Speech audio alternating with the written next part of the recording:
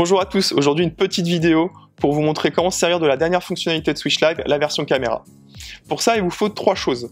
La première des choses, c'est une caméra, et là, vous pouvez vous servir de la caméra dont vous servez d'habitude pour filmer le match, pour l'analyse du coach ou pour l'analyse statistique. Ensuite, il suffit de faire transiter le flux de la caméra sur l'ordinateur via un câble HDMI et un Elgato Camlink. Ça, c'est la deuxième des choses, le Elgato. Et la troisième, c'est un Mac dernière génération avec les puces M1, donc sorti fin 2020.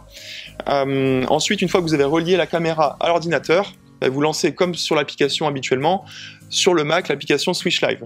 Et là, au moment de passer en direct, vous allez avoir le choix entre les différentes sources. Vous pourrez choisir la source de la caméra, la source de la webcam de l'ordinateur si vous souhaitez euh, filmer les commentateurs avant de passer en direct.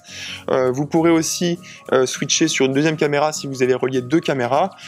Et la dernière des choses, c'est que vous aurez accès à toutes les fonctionnalités habituelles de Switch Live qui sont le scoreboard, la couleur des maillots et même le multicaméra pour euh, filmer à distance avec un téléphone. Si vous voulez mettre un, un téléphone de l'autre côté du terrain, vous pourrez aussi via la version multicaméra et la fonctionnalité multicaméra.